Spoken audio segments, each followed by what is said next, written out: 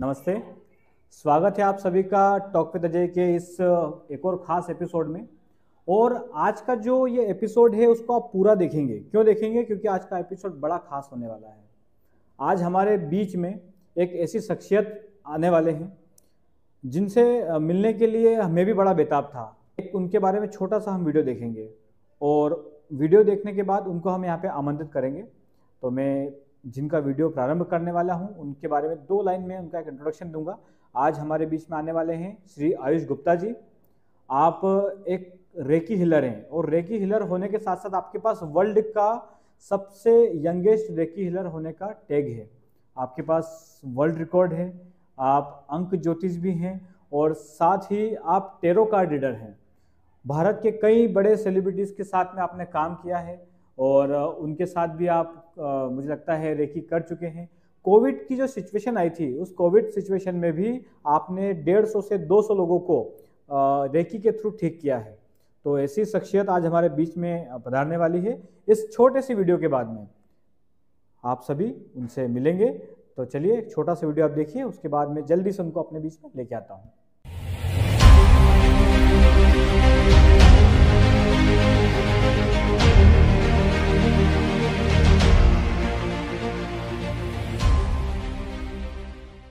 बहुत बहुत स्वागत है सर आपका हमारे इस कार्यक्रम में। और सर क्योंकि लगातार आपके कुछ इंस्टाग्राम पे मैंने पोस्ट देखी आपके बारे में जब मैं देख रहा था हम्म। तो आपके यहाँ पे टैग लाइन लिखी हुई थी वर्ल्ड यंगेस्ट रेकी हिलर हाँ जी। और ये जो एक टाइटल है ये मिलना बड़ा मुश्किल होता है विश्व का सबसे यंगेस्ट हम्म। होना। हम्म। तो रेकी ही क्यों? रेकी ही क्यों? ये एक्चुअली काफ़ी इंटरेस्टिंग क्वेश्चन है क्योंकि ये मेरी लाइफ का सबसे इंपॉर्टेंट पार्ट रहा है फ्रॉम द बिगनिंग क्योंकि अगर हम थोड़ा पीछे जाएँ तो मैंने मेडिटेशन स्टार्ट किया था जब मैं सेवन एट ईयर्स का था। और वो तो ऑफकोर्स बच्चे थे मॉम डैड ने जो बोला हमने किया बट हाँ ऑफकोर्स मज़ा आता था इसलिए करते थे अदरवाइज़ हम नहीं करते सीधी सी बात। चाहे जो कितना भी फोर्स करे हमें। तो at the age of twelve जब मैंने रेकी सीखा तब उसके चार से पाँच महीने बाद मेरे मॉम को थ्रोट कैंसर डायग्नोज हुआ था जिसके वजह से आ, मुझे लगा कि हाँ रेकी के बारे में मैंने काफ़ी सुना है और अगर हमने सीखा है तो लेट्स ट्राई मुझे श्योरिटी नहीं थी कि ऐसा कुछ एक्चुअली कैंसर जैसी चीज़ ठीक हो जाएगी क्योंकि कैंसर एक ऐसी चीज़ है जो कि मेरा ऐसा मानना है जिसको कैंसर होता है उससे ज़्यादा उसकी फैमिली सफ़र करती है बिल्कुल। तो कैंसर जब डायग्नोज हुआ तो मुझे ऐसा लगा कि हम तीन से चार महीने हीलिंग करते हैं। और हीलिंग स्टार्ट करने के तीन से चार महीने बाद जब उनका रीचेकअप करवाया गया अपोलो हॉस्पिटल नागपुर में तब उनका जो डायग्नोस हुआ डॉक्टर ने बोला कि मेरे पापा को वहाँ पे जानते हैं तो वहाँ पे उन्हें गुप्ता जी बोलते हैं। तो उन्हें उन्हें डॉक्टर्स ने उन्हें बोला कि गुप्ता जी इस प्रॉब्लम के लिए दोबारा आप कभी भी मत आइएगा क्योंकि ये कम्प्लीटली हील हो चुकी है। जी। तो वो एक मैं बोल सकता हूँ लाइफ का टर्निंग पॉइंट था एक बॉलीवुड तरीके से कि turning moment of our life तो वहाँ से ये जर्नी शुरू हुई क्योंकि अगर रेकी से कैंसर जैसी चीज़ ठीक हो सकती है तो I would love to serve as many as people I can do क्योंकि बहुत सारे लोग अपनी छोटी प्रॉब्लम्स बड़ी प्रॉब्लम से परेशान रहते ही हैं। चाहे वो मेंटल हेल्थ हो फ़िज़िकल हेल्थ हो काम से रिलेटेड हो। सो आई थॉट कि हाँ सेवा करना ही परम धर्म है क्योंकि हाँ of course from the beginning family ने यही सिखाया है कि जितनी ज़्यादा लोगों की हेल्प कर सकते हैं जितनी ज़्यादा लोगों की सेवा कर सकते हो वही एक असली खुशी है खुशी असली हैप्पीनेस है। तो वहीं से ये जर्नी शुरू हुई। चलिए यानी कुल मिला के आपने अपने घर से ही इसकी शुरुआत की थी हाँ और जब घर में ही आपको लगा कि नहीं आज हमारा फ़ायदा हुआ है यानी हम समाज में भी इसका फ़ायदा दे सकते हैं। हाँ जी। तो सामाजिक उद्देश्य को लेकर आप इस फ़ील्ड में उतरे हैं मुझे हम्म। लगता है ये एक बहुत अच्छा मंदिर जाने के बराबर है। ये मंदिर जाने के बराबर है सेवा करना। हम्म। आयुष भैया मैं एक चीज़ और आपके देखी थी। आप अभी बीच में अमिताभ बच्चन जी और रेमो डिसूजा जी और इन सबके साथ में मिल रहे थे। तो उनके साथ कैसे क्या मिलना हुआ और क्या क्या बातें हुई? किस तरह की चीज़ें उनके साथ हुई थी? आ, पहले तो अमिताभ बच्चन जी का बहुत बहुत धन्यवाद क्योंकि वो ही थे जिन्होंने मुझे वर्ल्ड रिकॉर्ड से नवाजा उन्होंने नवाजा था of world's youngest reiki healer उन्होंने ही मुझे शील्ड और सर्टिफिकेट दिया था। वहाँ से उनसे मुलाकात होनी शुरू हुई उनसे एनर्जीज़ के बारे में काफ़ी डिस्कशन हुआ हमारा। क्योंकि वो भी काफ़ी ज़्यादा एनर्जी से कनेक्टेड है रेकी से कनेक्टेड है। तो एक होता है ना कि सेम फ़ील्ड के लोगों से इंटरेक्ट करो तो बातें निकलती हैं निकलती है निकलती हैं। वो डिस्कशन कितना लंबा जाता है पता ही नहीं चलता है। वहाँ से वो जर्नी शुरू हुई थी फिर उनके सेशंस हमने किए फिर टैरो सेशंस रेमो सर से ऑफ़ कोर्स मैं डिटेल में नहीं बता पाऊँगा किस रिलेटेड बट हाँ। उनके साथ सेशंस वगैरह किए हैं काफ़ी हमने और of course it's been on been an honour उन सबके साथ रहना। और हाँ एनर्जी से तो आई गेस सभी को कनेक्टेड रहना चाहिए इसलिए वो भी कनेक्ट हुए एंड हम लोग सेशंस कर रहे हैं। हेल्थ से रिलेटेड फैमिली से रिलेटेड काम से रिलेटेड तो अलग अलग चीज़ें रहती हैं। uh, कुछ चीज़ें और भी देखी थी मैंने आपके साथ में।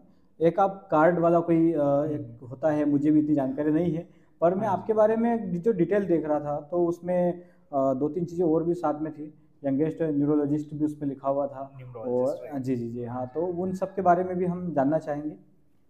सी टैरो कार्ड रीडिंग हम जब बोलते हैं तब बहुत सारे लोगों को ऑफकोर्स पता होगा टैरो कार्ड रीडिंग के लिए क्योंकि एक फ़ेमस टॉपिक है ये। तो लोगों को लगता है भविष्यवाणी बताता है। तो पहले तो मैं ये बोलना चाहता हूँ भविष्यवाणी मैं नहीं बताता हूँ as a tarot card reader because tarot card reading मतलब आपके वर्तमान में क्या चल रहा है उसमें आप क्या चेंजेस ला के अपना वर्तमान सही कर सकते हैं। आप वर्तमान में कैसे खुश रह सकते हैं और अभी कुछ सजेशंस फॉलो करके आप फ्यूचर में क्या चेंजेस फेस फील कर सकते हैं। तो बेसिकली आप कहाँ सही जा रहे हैं कहाँ गलत जा रहे हैं कहाँ आपको चेंजेस करने चाहिए? क्या ऐसी पॉसिबिलिटीज़ हैं फ्यूचर में जो हो सकती हैं? आपके क्वेश्चंस के आंसर मिलते हैं। तो टैरो कार्ड रीडिंग बेसिकली ये है। तो ये आपका भविष्यवाणी नहीं करता है आपके वर्तमान के बारे में बताता है। निमरोलॉजी इट्स लाइक हमारे लाइफ में दो ऐसी चीज़ हैं जो बचपन से लेकर हमारे मरने के बाद भी हमसे कनेक्टेड होती हैं। जी। वो है नाम और डेट ऑफ़ बर्थ बिल्कुल। तो अगर आपका नाम और डेट ऑफ़ बर्थ सिंक्रनाइज होता है आपकी लाइफ में आपके नंबर्स की काफ़ी बड़ी मीनिंग होती है आपकी लाइफ में। हर एक नंबर का अपना प्लानट होता है हर एक प्लानट की एक एनर्जीज होती हैं जो आपसे डायरेक्टली कनेक्टेड होती हैं। और हम एनी विच वे एक उस सोर्स ऑफ़ एनर्जी के पार्ट हैं। तो अगर हम उस सोर्स ऑफ़ एनर्जी से कनेक्ट होते हैं तो सोचिए हमारे अंदर कितने अच्छे चेंजेस आते हैं। बिल्कुल। चाहे वो किसी भी हीलिंग पद्धति के थ्रू हो चाहे वो रेकी के थ्रू हो चाहे वो किसी भी पॉजिटिव अल्टरनेट थेरेपी के थ्रू हो चाहे वो योगा हो क्योंकि योगा तो आई गेस अगर आपको स्पिरिचुअली ग्रो करना है तो आई गेस आपको तो डेफिनेटली पता ही है इस बारे में कि योगा सबसे की की पॉइंट है अगर आपको स्पिरिचुअली ग्रो करना है। क्योंकि जब तक आपकी बॉडी आपके साथ आपका साथ नहीं देगी तब तक आप किसी और से साथ एक्सपेक्ट नहीं कर सकते। बिल्कुल। तो हाँ ये इंपॉर्टेंस है न्यूमरोलॉजी एंड कार्ड रीडिंग की। क्या बात है। मैंने सर ये पहली बार सुना है। मतलब जब मैं आपकी आपके बारे में डिटेलिंग कर रहा था तब मैंने ये चीज़ पहली बार देखी कि किस तरह से पूरे कार्ड लेके और जो आप कर रहे थे। और कई बड़े बड़े सेलिब्रिटीज़ के साथ आपने उनका ये सारी जो चीज़ें हैं वो कर रहे थे। तो हमारे लिए ये प्लस पॉइंट है कि मुझे बैठने का सौभाग्य मिल रहा है। आ, दूसरा सर एक क्वेश्चन और था क्योंकि आप इतना काम देख रहे हैं सब कर रहे हैं। मेडिटेशन का आपने एक सबसे पहले एक बताया था मुझे कि मैंने शुरुआत में मेडिटेशन स्टार्ट किया था। हम्म। तो मेडिटेशन को आज की दुनिया में या आज के परिप्रेक्ष्य में आप किस प्रकार से देखते हैं और क्यों उसको अनिवार्य होना चाहिए? मेडिटेशन uh, मेरे हिसाब से ऑफ़ कोर्स uh, एक फ़नी वे में बता रहा हूँ बट हाँ मेडिटेशन वैसा ही है जैसे एक आज के टाइम में हमेशा से ही पानी पीना एक बहुत ही इंपॉर्टेंट चीज़ थी। वैसे ही आज के टाइम पे स्पेशली क्योंकि पुराने टाइम में आपको शुद्ध हवा मिल रही है शुद्ध खाना मिल रहा है शुद्ध पानी मिल रहा है। अपने आप में ही मेडिटेशन चल रहा है आपके जीवन में। बट आज के टाइम पे ना हवा सही है उससे भी खराब खाना है उससे भी खराब पानी है। तो जब बाहरी दुनिया आपका साथ नहीं दे रही हो जब बाहरी दुनिया उतनी पॉजिटिव नहीं हो तो अपने सराउंडिंग को हमें पॉजिटिव करना चाहिए। तो मेडिटेशन इस रीज़न से बहुत ही ज़्यादा नेसेसरी है एंड ये बहुत ही रेगुलर एक्टिविटी होनी चाहिए। जैसे कि हमने अभी सेंट्रल जेल इंदौर में मेडिटेशन इम्प्लीमेंट करवाया। देहरादून की कुछ स्कूल्स में मेडिटेशन इम्प्लीमेंट करवाया। दुबई के दुबई पुलिस में हम लोग मेडिटेशन और रेकी सेशंस इम्प्लीमेंट करवा रहे हैं क्योंकि और स्पेशली मेरा ऐसा मानना है ऑफ़ कोर्स मैं सभी को बोलता हूँ मेडिटेशन स्टार्ट करने के लिए लाइक चाहे वो मेरे एज के हों चाहे वो आपके एज के हों चाहे वो हमारे माँ बाप के एज के हों बट बेसिकली मेरा ऐसा गोल है कि इंडिया में स्पेशली जितने भी स्कूल्स हैं उन सारे स्कूल्स में मेडिटेशन इम्प्लीमेंटेड होना चाहिए क्योंकि एक बार चीज़ एजुकेशन में इम्प्लीमेंटेड है एजुकेशन में इम्प्लीमेंटेड है तो वो जनरेशन चेंज करती है। बिल्कुल। हम तो चलिए हम अभी बड़े हो गए हम करेंगे ऑफ़ कोर्स आगे कंटिन्यू लेके जाएँगे बट बचपन से जो चेंजेस अगर हम एजुकेशन में स्कूल में डाल देंगे वहाँ से जो एक मेंटली ग्रोथ होगी ना मेंटल ग्रोथ होगी ना चिल्ड्रंस की बच्चों की वो आप खुद देखेंगे आगे फ्यूचर में चेंजेस क्योंकि आज के टाइम में जितनी तेज़ी से दुनिया भाग रही है अपने साथ इंसान समय काफ़ी कम बिता रहा है। और अपने साथ समय बिताना काफ़ी ज़रूरी है। और जहाँ तक मुझे लगता है कि जब बच्चा स्कूल से ही मेडिटेशन सीखेगा हम्म, तो वो कई चीज़ों से बाहर आ जाएगा। हाँ जो। उसके मन में चलने वाली गलत चीज़ें हो सकती हैं गलत भ्रांतियाँ हो सकती है मन के गलत विचार हो सकते हैं इन हम्म। सबसे वो बाहर निकलेगा पॉजिटिव एनर्जी उसको मिलने वाली होगी हम्म, और मिलेगी मुझे लगता है मेडिटेशन से मिलेगी। हम्म, तो ये काफ़ी अच्छी बात आपने बताई है स्कूल्स में इसको लागू करने वाली बात। क्योंकि अभी भी योग को जब स्कूल्स में लागू करने की बात आई थी तो अभी सिक्स तक पहुँचे हैं कि भाई सिक्स सेवन एट के बाद में हम इसको लागू कर सकते हैं। लेकिन वो बेसिक लेवल पे हैं। हम्म, पर जहाँ तक मुझे लगता है योग और शस्त्र शास्त्र विज्ञान तो वापस देश में प्रारंभ होना चाहिए। डेफिनेटली मेरा कोई नेगेटिव पॉइंट ऑफ़ व्यू नहीं है जो ये डेवलपमेंट हो रही है क्योंकि change is the rule of nature तो उस पर ना ही हम कुछ कर सकते हैं बट हाँ चेंजेस के साथ अपने रूट के साथ कनेक्टेड रह तो सकते हैं। आई गेस वो बिल्कुल भी डिफ़िकल्ट नहीं है।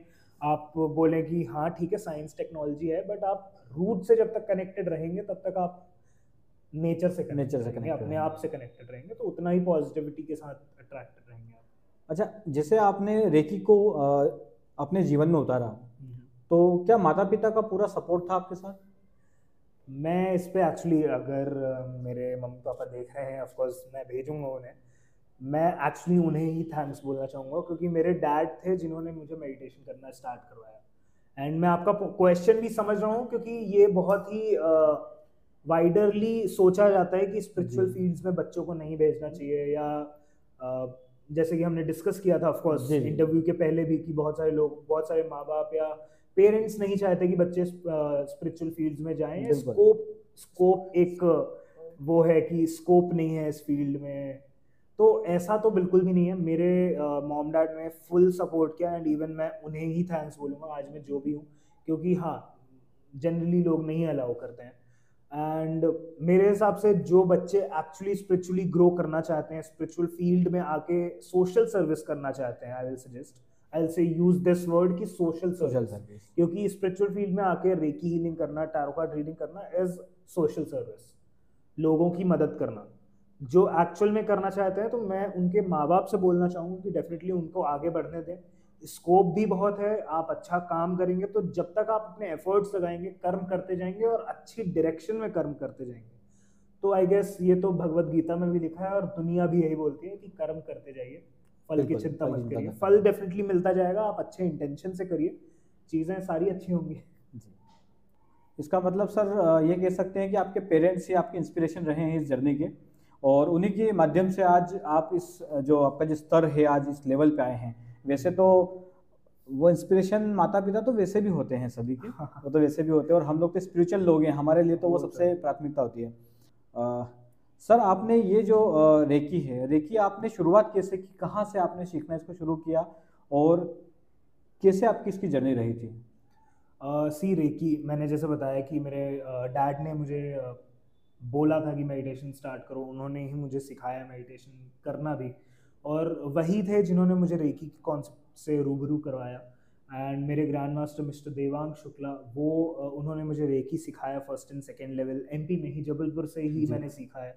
एंड देन जब ये चेंजेस आए मेरे मॉम का कैंसर ठीक होना देन मुझे लगा कि मुझे कंटिन्यू करना चाहिए रेकी हीलिंग लोगों के लिए भी जो लोग अपने प्रॉब्लम से परेशान हैं या जैसे कि हमने डिस्कस किया। सो so, uh, कुछ स्टार्टिंग के दो लेवल मैंने जबलपुर से कंप्लीट किए एंड सेम ग्रैंड मास्टर से मिस्टर देवांग शुक्ला जी के साथ मैंने uh, आगे के लेवल्स पुणे और साउथ अफ्रीका में किए। वो basically by profession of course reiki grand master भी हैं। उनके बहुत सारे ब्रांचेस हैं ऑल ओवर वर्ल्ड और वो प्रोफेशनली सीए भी हैं सो वो फिर साउथ अफ्रीका शिफ्ट हो गए वहाँ के वहाँ जाकर मैंने आगे की लेवल्स कंप्लीट किए यानी आपने रेकी को अपना जीवन ही बना लिया जहाँ सर गए वहाँ साथ साथ में आप भी गए और आपने वहाँ से सीखा। है अगर कोई व्यक्ति जो आप इस कार्यक्रम को देख रहा है अगर वो आपसे सीखना चाहे तो क्या आप कोई ऐसी क्लासेस देते हैं लोगों को?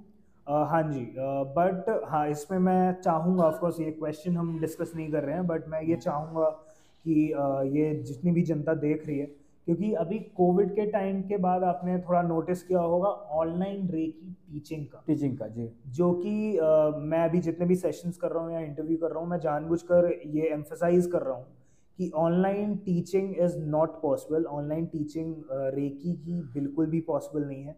जेनविन नहीं है। ऑफ़ कोर्स कोविड के बाद एक ट्रेंड से चल रहा है अभी। ट्रेंड भी और पैसे कमाने के माध्यम ही हम बोल सकते हैं क्योंकि उस टाइम पे लोग मिल नहीं रहे थे तो डिस्टेंस से जितना कमाया जा सकता था लोग कमा रहे थे। सॉरी uh, मैं इसमें थोड़ा ब्लंट हूँ बट हाँ online teaching is not at all possible so हाँ मेरे sessions all over India globally workshops चलती रहती हैं तो आप इंस्टाग्राम पे कनेक्ट हो सकते हैं फेसबुक पे कनेक्ट हो सकते हैं फॉर अपडेट्स जैसे मैं मुंबई में कर रहा हूँ इंदौर में कर रहा हूँ बैंगलोर में सेशंस रहते हैं दिल्ली में रहते हैं तो ऑफकोर्स अलग अलग सिटीज़ में हम लोग सेशंस वर्कशॉप ऑर्गेनाइज करते रहते हैं। जी। सर इसका फ्यूचर आप क्या देखते हैं? रेकी का टारो का या निम्रोलॉजी का? तीनों का। सी फ्यूचर एक्चुअली तीनों का ही है बिकॉज़ निम्रोलॉजी तो uh, हमारे रूट से ही कनेक्टेड है हमारे ट्रेडिशन से कनेक्टेड है कल्चर से कनेक्टेड है क्योंकि uh, हम सभी को पता है एस्ट्रोलॉजिकली लोग नाम चेक करके ही अपना नाम रखते हैं अपने बच्चों का नाम रखते हैं। तो वो डेफिनेटली कनेक्टेड है। रेकी एक ऐसा कॉन्सेप्ट है जो कि इंडियन हीलिंग थेरेपी ही है। बिकॉज़ रेकी हीलिंग अगर आपने पास में सुना होगा स्पर्श चिकित्सा स्पर्श चिकित्सा। जो गौतम बुद्धा करते थे। तो ये है इंडिया की ही बट क्या करें? इंडिया की बहुत सारी चीज़ें बाहर जा चुकी हैं। तो ये री इन्वेंट हुई थी नाइनटीन को। सो so, इसमें कुछ सिंबल्स हैं साइंटिफिकली प्रूवन जिसके थ्रू आपकी ना सिर्फ़ प्रॉब्लम्स ठीक होती हैं बट अगर आपको किसी चीज़ का बेटरमेंट चाहिए और ज़्यादा पॉजिटिव करना है चाहे वो बिज़नेस हो काम हो या किसी भी चीज़ में आपके एनहांसमेंट चाहिए तो रेकी हीलिंग डेफिनेटली वर्केबल है। एंड बेसिकली ये साइंटिफिक है तो ये बहुत ही लॉन्ग टर्म और ट्रस्टफुल प्रोसेस है।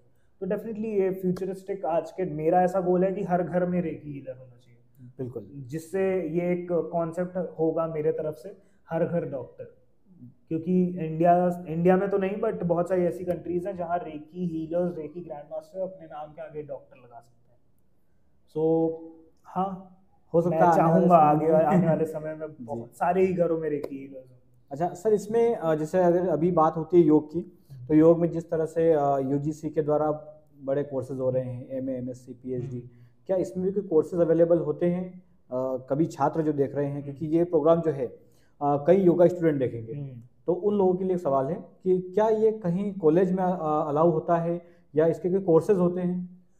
सी मैं टू बी वेरी ऑनेस्ट मैं प्लान कर रहा हूँ टू ओपन यूनिवर्सिटी मेरी ऑर्गेनाइजेशन है अनंत ऊर्जा सफ़र. मैं और मेरी सिस्टर रन करते हैं. My sister is in international yoga trainer and हमने अनंत ऊर्जा सफ़र ऑर्गेनाइजेशन स्टार्ट ही इसलिए किया है जितना भी इंडियन इंडियन ट्रेडिशन है इंडियन कल्चर है इंडिया के जो कस्टम ट्रेडिशंस है मेनली जैसे योगा हो गया मेडिटेशन हो गया ये सारी चीज़ें आगे बढ़ानी है। तो हम लोग डेफिनेटली प्लान आउट कर रहे हैं हम लोग यूनिवर्सिटी प्लान आउट कर रहे हैं। रेकी में कोर्सेज डेफिनेटली नहीं होते बट लेवल लेवल्स होते हैं सीखने के लिए पाँच लेवल्स होते हैं। Advance level master level and grand mastership तो डेफिनेटली एक प्रोसेस के साथ आप डेफिनेटली कर सकते हैं। आप एक एक लेवल तक आप लोगों की हीलिंग कर सकते हैं एंड एक लेवल के बाद आप लोगों को सिखा भी सकते हैं। And grand mastership is overall things सबसे बड़ी जो पोस्ट हाँ होती है हाँ वो जी। आयुष सर एक छोटा सवाल और मेरा इसमें क्योंकि इंटरव्यू आपका बहुत बड़ा हो जाएगा लेकिन फिर भी मैं क्योंकि आपसे मिलना हुआ है तो बातें तो निकलेगी आज। एक सवाल जो मेरा था विशेष रूप से जब मैं आपके बारे में जब पूरी रिसर्च करता हूँ मैं जब यहाँ आता हूँ तब भी पढ़ के आता हूँ। तो पढ़ते पढ़ते में एक चीज़ मेरे सामने आई थी जो आपका वर्ल्ड रिकॉर्ड में जो नाम आया था तो वो नाम किस तरह से दर्ज हुआ था और क्या ऐसी चीज़ें हुई थी जिससे एकदम से आपको इतनी पहचान मिल गई? सी बेसिकली मैंने जैसे कि मैंने आपको स्टार्ट में ही बताया कि मेरा ऐसा कोई प्लान नहीं था कि मैं प्रोफेशनली इसको कंटिन्यू करने वाला हूँ बट ऑफकोर्स जैसे कि ये केसेस ठीक हुए तो लोगों तक बात ऑफकोर्स पहुँची क्योंकि इतना बड़ा केस हील हुआ था जो कि मेरे लिए भी काफ़ी बड़ी बात थी एज अ फ़र्स्ट केस आदत नहीं थी ऐसी चीज़ें देखने की टू बी वेरी ऑनेस्ट तो ये चीज़ें हुई तो ऑफकोर्स धीरे धीरे बात फैली बट हाँ वर्ल्ड रिकॉर्ड में ऑफकोर्स हमने अप्लाई किया था बट वहाँ से रिसर्च होती है उन, उनकी ऑल ओवर वर्ल्ड तो उन्होंने रिसर्च की देन उनका दो से तीन महीने बाद कॉल आया दैट हमारी रिसर्च के बाद हमने seven to eight students shortlist किए हैं। बट उसमें से सबसे कम एज और सबसे ज़्यादा एक्सपीरियंस के साथ और प्रैक्टिस जो एक्टिवली प्रैक्टिस कर रहे हैं तो उसके बेसिस में उन्होंने सिलेक्ट किया था। एंड देन फिर जर्नी कंटिन्यू है। जैसे कि मैंने सभी को बोला ही कि अपने कर्म करते जाइए फल अपने आप ही मिलता है। तो ये वही कॉन्सेप्ट हुआ है। से दैट कि वही है कि आप अपने एफर्ट्स या अपने कर्म से पीछे नहीं हट सकते। आप सिर्फ़ अगर फल की चिंता करते रहेंगे तो आप कर्म नहीं करेंगे और कर्म करेंगे तो फल की फिर चिंता करनी ही नहीं। बिल्कुल। क्योंकि आपके बारे में सब लोग जानते हैं as a reiki healer. But अगर एक दो कुछ सवाल हैं जो हमारी जनता के बारे में भी हैं हमारे भी हैं हाँ। आपके सबसे फेवरेट एक्टर का नाम क्या है? अच्छा ओके। फेवरेट एक्टर मैं energy wise definitely I love Ranveer Singh. बहुत ही एनर्जेटिक पर्सन है। एक बार मुलाकात भी हुई थी एक शो में उनसे। और उनकी जो एनर्जी है वो एनर्जी लेवल मेंटली भी फिजिकली भी बहुत मतलब जिस हिसाब से पूरा ओरा ही एनर्जी पूरे मतलब नॉट जस्ट स्टेज जहाँ ऑडियंस बैठती है वहाँ भी अपनी एनर्जी दिखा रहे हैं वहाँ जा रहे हैं। तो एक एनर्जी और उनका काफ़ी स्ट्रॉन्ग है तो दैट्स एंड ऑफ़ कोर्स कलाकार तो बहुत ही बढ़िया है ऐसे कोई संत या ऐसे कोई व्यक्ति जो आपकी इंस्पिरेशन हो? इंस्पिरेशन तो डेफिनेटली मैं पहले तो अपने ग्रैंड मास्टर को बोलूँगा जो मेरे ग्रैंड मास्टर हैं मिस्टर देवांग शुक्ला जी। एंड संत में डेफिनेटली uh, मैं अगर नाम लेना है तो मैं डेफिनेटली बाबा नीम करोली जी का नाम लूँगा जो कि uh, देहरादून के पास। देहरादून के पास कैची धाम में है। आई थिंक नैनीताल के पास में है। हाँ देहरादून नैनीताल के हाँ पास हाँ। जी। और मुझे भी वहाँ जाने का सौभाग्य मिला। वैसे वहाँ तो मार्क जुगरबर्ग तक जाके आ चुके हैं तो हम तो छोटे मोटे हैं। बहुत बड़ी बात है। मैं वही सजेस्ट करूँगा जिन्हें अगर ऑफ़ कोर्स जाना है तो वो इस बात से अट्रैक्ट होके ना जाए कि मार्क जुगरबर्ग गया है या स्टीव जॉब्स गए हैं। श्रद्धा श्रद्धा। श्रद्धा तो बिलीफ है ट्रस्ट है तो आप डेफिनेटली जाइए। अच्छा एक्सपीरियंस है और आपको चेंजेस तो डेफिनेटली एनर्जीज और एनर्जी सेंटर है वो। बहुत सुंदर जगह भी है वो देखने के लिए बहुत प्यारी पहाड़ों में। आपका फेवरेट फ़ूड क्या हम क्या हो सकता है? देखिए मैं हूँ तो 20 साल का तो मैं ऑफ़ कोर्स मैं प्रमोट सात्विक खाना करता हूँ बट फेवरेट में अगर बोला जाए तो पास्ता क्योंकि मैं उसको बनाता भी काफ़ी अच्छा हूँ तो मैं बेसिकली मेरा पैशन है कुकिंग मैं बोल सकता हूँ। कभी ऐसा हुआ है कि घर वालों ने आपकी शादी हो चुकी है क्या? नहीं ना? हाँ ठीक है ठीक है। आप पर आप तो फिर ये क्वेश्चन ही लगता ना क्योंकि मैं कभी फोर्स किया हो शादी कर लो शादी कर लो वो तो वाले क्वेश्चन हाँ। था। ठीक है क्योंकि आपका जो है ना अपन स्पिरिचुअल वाले लोग हैं ज़्यादा वो उस तरह का सवाल नहीं पूछ सकते अभी चलिए चलिए थैंक यू सर और सर चलिए। थैंक यू सर ये जो जवाब मुझे मिले हैं मुझे तो मेरे साथ साथ कुछ लोगों को पता चलेगा ताकि अगली बार आप कहीं जाएँगे तो पास्ता रेडी मिले बस हम ये चाहते हैं। इसलिए कुछ सवाल थे हमारे। आ, सर हमारे जो दर्शक हैं इनके लिए कोई एक सोशल मैसेज अगर आप देना चाहें? सोशल मैसेज मैं सिर्फ़ यही देना चाहूँगा कि आप जो भी काम कर रहे हैं तीन मंत्र हैं तीन गाइडेंस है जो आपको फॉलो हमेशा करनी चाहिए। Follow the process trust the process and love the process अगर आप किसी चीज़ को कर रहे हैं तो उसको एक्चुअली सही तरीके से करें उसमें लापरवाही ना करें। दूसरी चीज़ ट्रस्ट और बिलीफ ट्रस्ट और बिलीफ तो हर एक चीज़ में नेसेसरी है। अगर आप चल रहे हैं और आपका अपने पैरों पे ट्रस्ट नहीं है तब तक आप चल भी नहीं सकते। बिल्कुल। चाहे वो किस कोई भी एग्ज़ाम्पल आप ले लीजिए ट्रस्ट काफ़ी ज़्यादा इंपॉर्टेंट है। एलोपैथी काम नहीं करती अगर आपके अंदर ट्रस्ट नहीं है। वो तो फिर भी दवाई है ना। हम्म। दवाई नहीं काम करेगी अगर आपको उसको उस पर भरोसा नहीं है। तो भरोसा एक बहुत बड़ी चीज़ है जो आपकी लाइफ में हर हर मोड में काम आएगा। वही है आपको ध्यान देना है किस चीज़ पर आप भरोसा कर रहे हैं। आप अगर नशों में भरोसा करेंगे तो आप उन चीज़ों में जाएँगे अगर आप अच्छी चीज़ों में भरोसा करेंगे तो आप उन चीज़ों में जाएँगे। तीसरा है लव द प्रोसेस जैसे कि हम सभी को पता है कि प्यार से बड़ी शक्ति कुछ भी नहीं है। एक सेकंड हम्म। हाँ प्यार से शुरू कीजिएगा। हम्म। हाँ।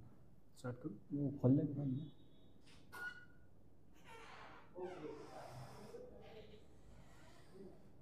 हाँ वैसे आवाज़ आएगी नहीं इसके अंदर?